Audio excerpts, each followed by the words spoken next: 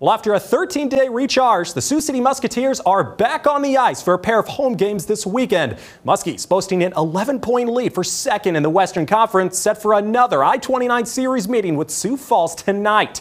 New goalie pickup Dylan Silverstein gets the start on the net season series, tied at two apiece. Sioux Falls sprinting out in the first minute of play. Chris Pelosi in the crease, sneaks in the goal. Only took 48 seconds. Stampede striking first, one zip. Visitors vying for more 10 minutes later later, John McNellis one-on-one.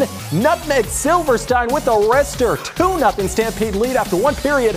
Muskies needing an answer. Three minutes into the second now. Great chance here. Caden Shahan with space. Lets it rip, but right into Michael Chombre. He doesn't budge. 2-0 Muskie deficit remains until it didn't two minutes later. Sticks flying inside. Tyler Borgula gets it to go.